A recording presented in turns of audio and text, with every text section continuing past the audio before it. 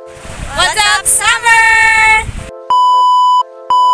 What's up mga guys? Nandito po kami ngayon sa Pico Beach, Alcor!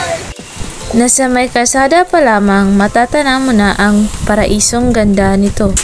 Makikita mo rin ang malawakang pagtatakbo ng kalangitan at karagatan, malakulay asul na karagatan. Ang mga alon na agresibo at maganda sa mga mata. Dito sa Tinko Beach, malalangap mo ang sariwang hangin.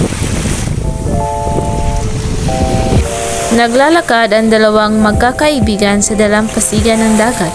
Sila ay tumatawa, magkahawak ang mga kamay.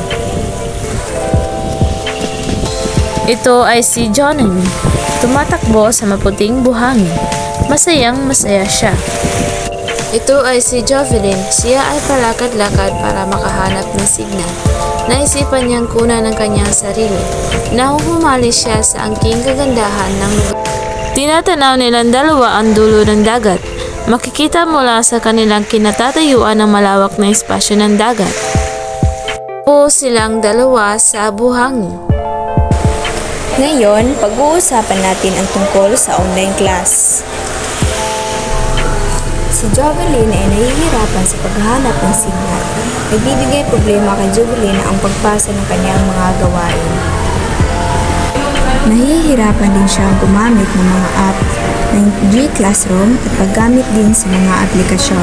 Tinanong ni Jovelyn si Jonami sa kanyang karanasan. Sabi ni Jonami, naranasan din niya ang niya kapag siya ay nagsasalita sa klase. Paminsan-minsan, problema ni Jonami ang putol-putol na internet connection. Sinasabi din niya na nahihirapan siya kapag nasa open mic siya dahil katabi niya ang kanyang anak. Si Jonami ay natatakot na baka mag-iingay ang kanyang anak habang siya ay nasa klase.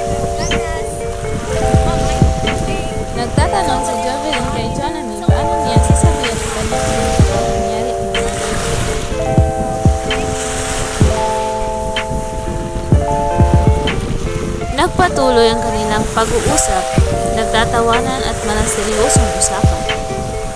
Sa susunod naman, silang dalawa ay nagbabahagi ng kani-kanilang karanasan tungkol sa modular learning. Pareho silang nahihirapan intindihin mag-isa ang aralin na nakapaloob sa module. Ang blended learning ay kombinasyon ng face-to-face at online learning.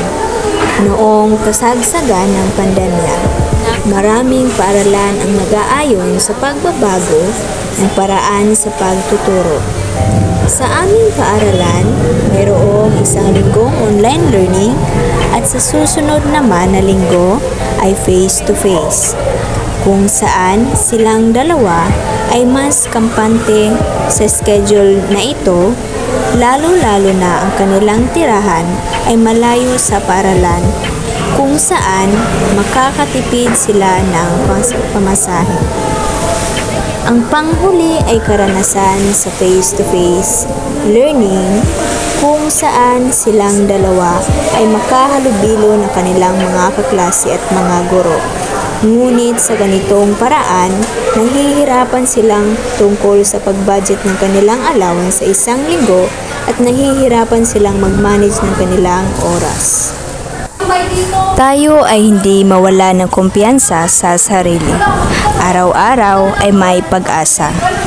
Ang edukasyon ay mahalaga sapagkat ito ang nagiging daan sa isang tao upang magkaroon ng mga kalaman tungkol sa buhay, pagkatao at komunidad. Online class, hindi para sa lahat, dapat na tayong mamulat. Hindi patas sa iba, sa online class maraming nagdurusa. Mahirap man sa pandemya, pero dapat tayong makaahon. At kapag mayroong edukasyon, tayo ay babangon.